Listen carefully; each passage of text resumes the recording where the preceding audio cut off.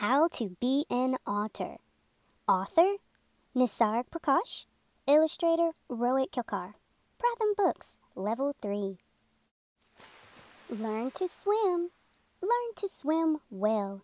Well enough to catch fish and escape from danger. Your webbed feet and long paddle like tail will help you. Look after your fur coat. It is waterproof and will help keep you warm when swimming in cold waters. Know your fish. You will grow to like fishy smells and smelly fish.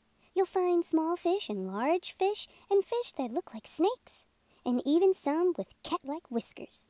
Not all of them are easy to catch, but remember, never eat dead fish.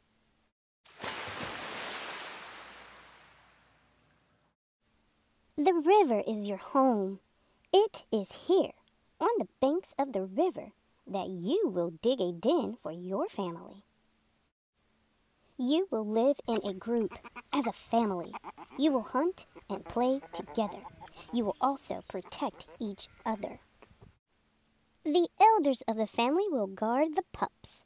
Listen to the elders, for they know the river well. The river is also your playground.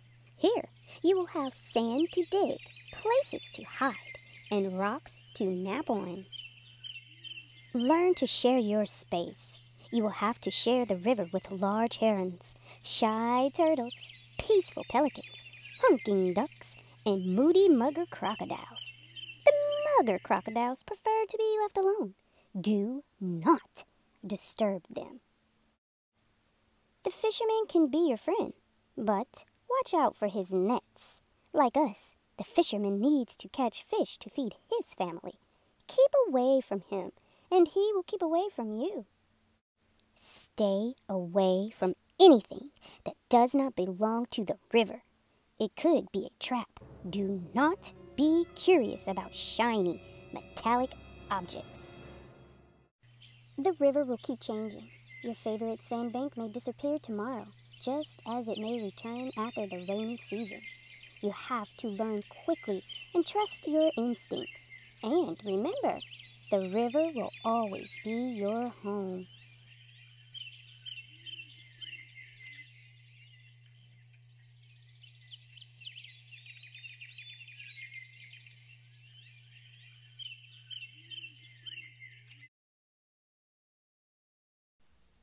Thanks for joining us, guys. And remember that AM and PM story time is for any time of the day, whether you're just waking up, noontime snacking, or bedtime is happening. Stop by and enjoy a book with us.